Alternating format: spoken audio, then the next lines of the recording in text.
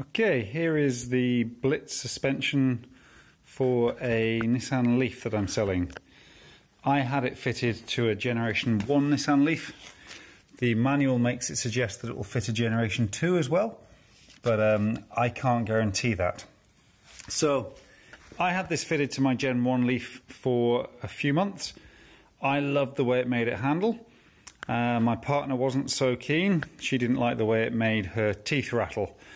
Um, and also, she had some jobs, still has some jobs down some fairly um, gnarly driveways around here in Raglan. So the car was good at scraping its bottom, which wasn't good for it.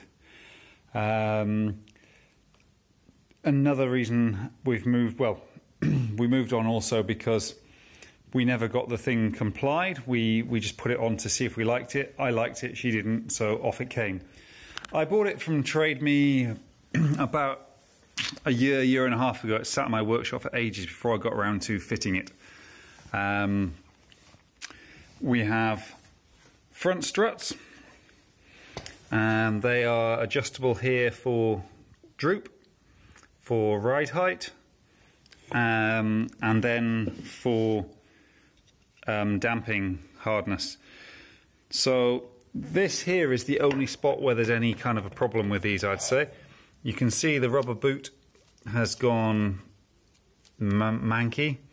So this one, yeah, there you go. You can see it's it's just breaking up. Um, this one's worse. There's less of it on here.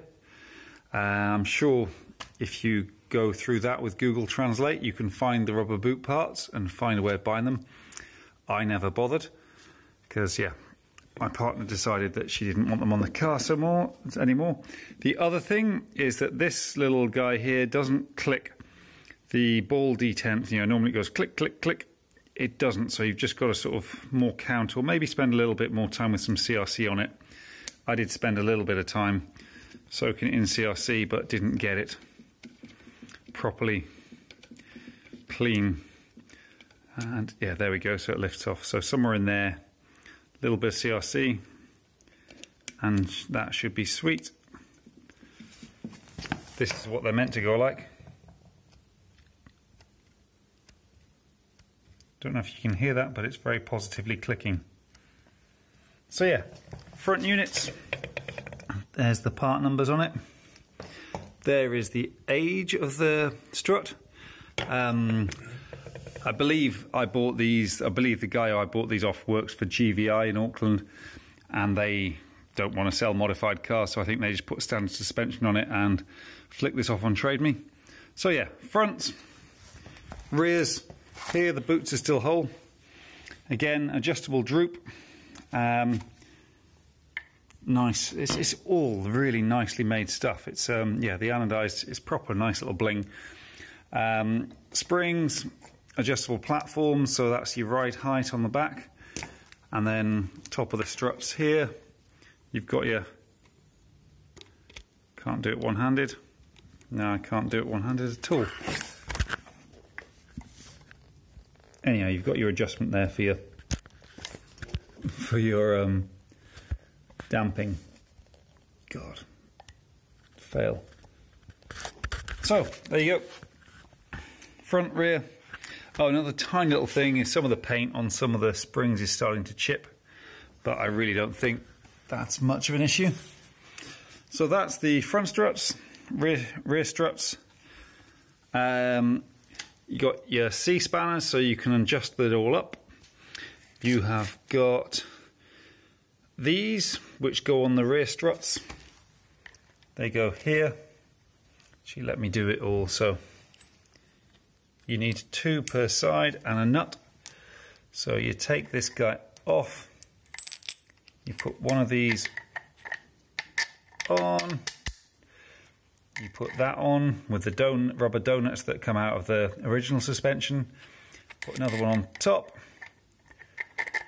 and that's where the car body shell goes through, and you bolt this down, put that on, and you put that through. So that's your hardware for the back. You've only got two of these because it only came with two. um, you need to drill out your old ones to this size of hole when you take them off your car. So, yeah, you need you need to use reuse these from your existing car. Um, and then for the front, you've got the three nuts that go on the top of here, and three big washers. These are not the right washers. They do the job. They're not pretty. You might want to get some shiny red ones. Who knows? Um, and then you've got a part of the box I kept because it basically tells you how to do everything. It's just what I described there on the rear strut. Um, so that's a really useful guide. And then here, the manual. Google Translate sort of gets some of this, but um, all you really need to know is this here, whether you're putting it on the ZEO, which is the Gen 1 leaf, and I know it fits this, or the Gen 2, the AZEO, which it might fit. Um, yeah, all your instructions. So there you go. That's my Gen 1, no, my Nissan Leaf Gen 1, possibly Gen 2 Blitz suspension kit for sale. Sorry to be selling it, but hope whoever buys it enjoys it. All right.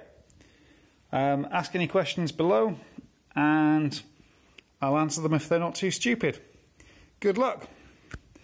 Be free with your bidding.